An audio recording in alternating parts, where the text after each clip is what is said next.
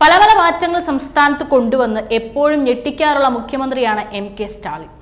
ഇപ്പോൾ അടുത്തൊരു മാറ്റം കൂടെ എം കെ സ്റ്റാലിൻ എടുക്കുവാൻ പോകുന്നതിന്റെ സൂചനകളാണ് പുറത്തുവരുന്നത് പൊതുമേഖലയിലും സ്വകാര്യ മേഖലയിലും ജോലി ചെയ്യുന്ന അംഗപരിമിതർക്ക് വർക്ക് ഫ്രം ഹോം അനുവദിക്കുന്നതിനുള്ള സാധ്യതകൾ പരിശോധിക്കുമെന്ന് മുഖ്യമന്ത്രി എം കെ സ്റ്റാലിൻ വ്യക്തമാക്കി.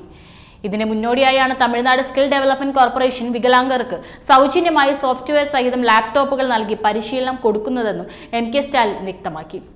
അംഗപരിമിതർക്ക് അനുയോജ്യമായ തൊഴിലവസരങ്ങൾ കണ്ടെത്തുന്നതിന് സർക്കാർ സ്വകാര്യ സ്ഥാപനങ്ങൾക്കായി വിദഗ്ധ സമിതികളും ഉന്നതതല സമിതികളും രൂപീകരിച്ചിട്ടുണ്ടെന്നും അംഗപരിമിതർക്ക് അവരുടെ ജോലിസ്ഥലത്ത് മറ്റുള്ളവരെ ആശ്രയിക്കാതെ ചെയ്യാൻ കഴിയുന്ന ജോലികൾ നൽകുന്നതിന് ഈ കമ്മിറ്റികൾ സർക്കാരിന് ശുപാർശകൾ നൽകുമെന്നും സ്റ്റാലിൻ കൂട്ടിച്ചേർത്തു.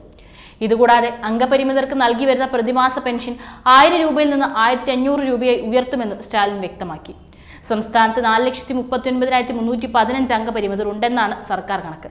ഇവർക്ക് പെൻഷൻ നൽകാനായി പ്രതിവർഷം ഇരുന്നൂറ്റി അറുപത്തി മൂന്ന് പോയിന്റ് അഞ്ച് എട്ട് കോടി രൂപ അധിക ചെലവ് വരും.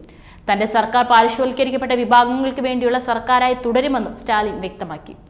അംഗപരിമിതരുടെ ക്ഷേമത്തിനായി പ്രവർത്തിക്കുന്ന അമർ സേവാ സംഘം സ്ഥാപകർ രാമകൃഷ്ണൻ ഉൾപ്പെടെയുള്ളവരുടെ സേവനങ്ങളും വൈകല്യങ്ങളെ അതിജീവിച്ച് മാരിയപ്പനും ജെർലിൻ അനികയും കായികരംഗത്ത് മികവ് പുലർത്തുന്നതിനെയും അനുസ്മരിക്കുന്നതായും എം കെ സ്റ്റാലിൻ പറഞ്ഞു.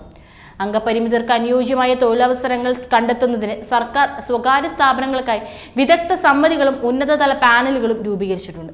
ചെന്നൈയിൽ കഴിഞ്ഞ ദിവസം അന്താരാഷ്ട്ര വികലാംഗ ദിനത്തിൽ പങ്കെടുത്ത് സംസാരിക്കുകയായിരുന്നു എം കെ സ്റ്റാലിൻ. ചടങ്ങിൽ വെച്ച് തിരുച്ചുവിലെ ഇന്റഗ്രേറ്റഡ് ആക്ഷൻ ട്രസ്റ്റ് മയിലാടുതുറൈ ജില്ലയിലെ സാമൂഹിക പ്രവർത്തക Jayanthi Udhayakumar Lucy Crescentia special school and industrial training സെന്ററിലെ അധ്യാപിക എം കവിത ബദിരർക്ക് വേണ്ടിയുള്ള സി ഹയർ സെക്കൻഡറി സ്കൂൾ അധ്യാപകൻ വി ജെയിംസ് ആൽബർട്ട് എന്നിവർക്ക് മുഖ്യമന്ത്രി എം കെ സ്റ്റാലിൻ പുരസ്കാരവും നൽകി.